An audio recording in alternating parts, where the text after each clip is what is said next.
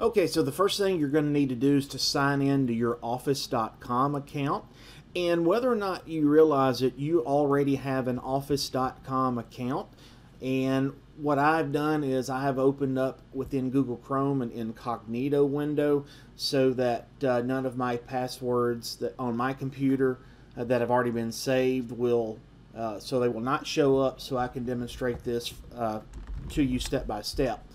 So to sign into your account, you're going to need to click the sign in button because again, you've already got an account. And you're going to need to sign in with your, and it's your student ID number.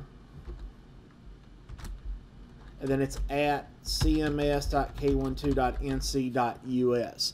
Now, again, this is very much like your Google account, but notice you do not include student dot in front of the CMS part and then you would click next. Now I'm actually going to have to go and sign in with my credentials which I don't have a student ID number because obviously I'm not a student. So I want to sign in.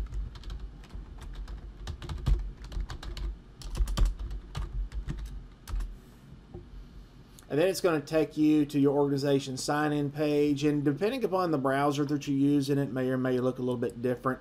But then it's going to ask you for a password now, your password, uh, you're going to have to type it in, and I can't even type it in here because it displays dots instead of what you actually type for security purposes.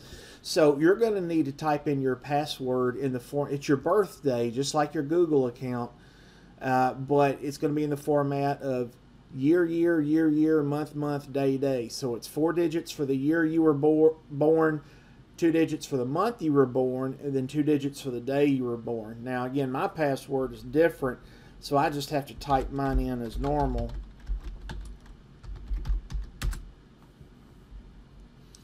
And it's going to ask if you want to stay signed in. I don't think it's a bad idea to stay signed in if you're using your device uh, that's yours only. Now, I'm going to click no, but I think it would be okay for you to click yes. All right, so when you sign in, you're going to see, uh, you're not going to see as much as you see with mine because I'm a teacher. I get more apps associated with my account. Uh, and I've been using this for years, so I've got all kinds of work in here. So uh, the main things I need you to see is over here on the left-hand side, you should see a Word icon for Microsoft Word, and then over here you should see an icon for Microsoft Excel. And then over here you should see a Microsoft PowerPoint icon and then here you're going to see a OneDrive icon. You're probably not going to see this blue Outlook icon because I don't think students get that and I think you do have the OneNote icon and you should have the Teams icon. But for right now the main one that I'm worried about is this OneDrive icon. So what I want you to do is to click this OneDrive icon and it's going to show you the contents of your OneDrive account, which probably is empty. Now, you may have some things in here, but it's probably going to be empty.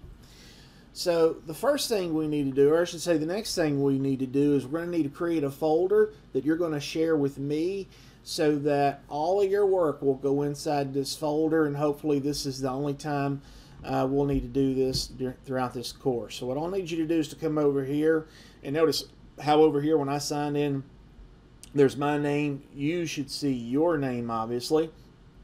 But I want you to come over here and click New and then Folder. And what I want you to do is to create a folder that's got your first name and last name. And if you want to put last name then first name, that's fine. But I want it to also include the word work. So when you do that, I want you to click Create and it's going to create a folder. Now yours is going to be easy to find because you shouldn't have all the stuff in your OneDrive folder that I've got, but I've got to scroll down and find mine. And here's that folder that I just created. So the next thing that you need to do is to move your mouse over here and click on top of this share button. You have to share that folder with me so that I'll always have access to it. Now again, your OneDrive is much like your Google Drive. Uh, and you're going to be learning how to use Microsoft Word, which is like Google Docs, and Microsoft PowerPoint, which is like Google Slides. and Microsoft Excel, which is like Google Sheets, but the Microsoft products are much more powerful, can do much more than what the Google uh, apps can do. That's why we're learning to, to use all the, the Microsoft products. But anyway, if you'll click on this button right here, and then you're going to want to share it with me, and make sure that this says people with Charlotte Mecklenburg can edit because I may need to do some editing to your files to provide feedback. So what you would need to do is to type my name in here, Keith Bennett, and you have to make sure that you spell it correctly.